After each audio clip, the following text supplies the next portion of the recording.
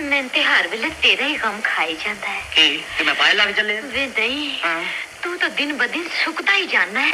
ਵੇ ਮੈਂ ਤੈਨੂੰ ਕਿੰਨੀ ਵਾਰੀ ਸਮਝਾਇਆ ਡੰਡ ਬੈਠ ਕਰ